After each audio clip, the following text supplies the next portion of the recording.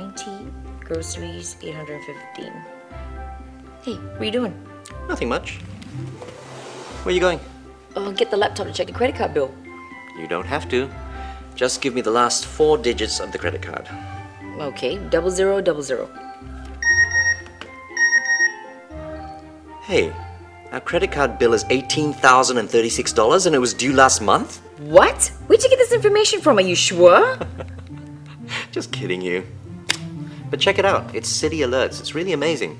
I can request credit card and bank account balances, credit card due dates, outstanding balances, all by sending an SMS. And I get the answer instantly. hey, it shows the credit card amount and the due date. Mm-hmm. So you're saying that all we have to do is just send an SMS and we get the answer right away? Yep.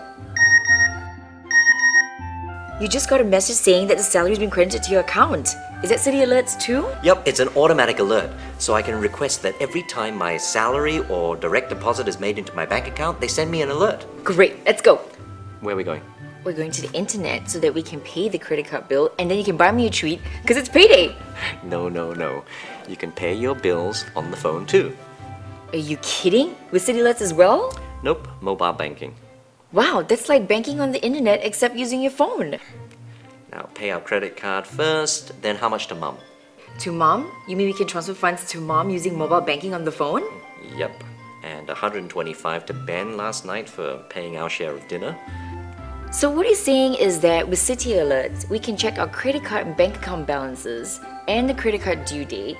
And plus, we can do our banking transactions using mobile banking? Yep. It's called Citi Mobile. Let's see. Wow, account details are there.